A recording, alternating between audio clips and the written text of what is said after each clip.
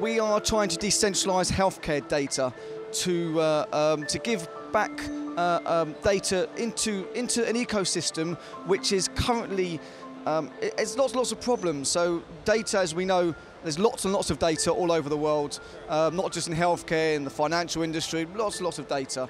Um, and it can't, it can't be that it's stuck in silo and it, and, and it should be utilized much, much better.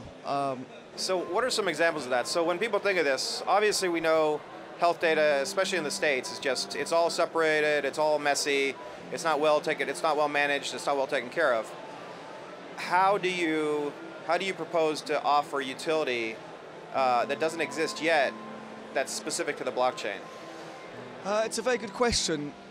So the, the data is, is what we believe um, uh, very valuable and it should be in the patient's hands uh, as it rightfully, rightfully is owned by the patient.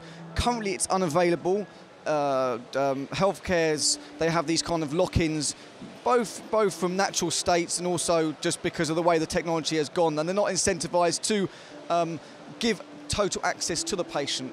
But you know, if I, if I had my if I had data at home, um, I'd be able to utilise it on, on a much more efficient basis. I'd be able to see, uh, you know, my condition, be able to look online. Um, I would be limited to one provider. Uh, uh, as such, I could look online, like I said, different different providers diff offering different services.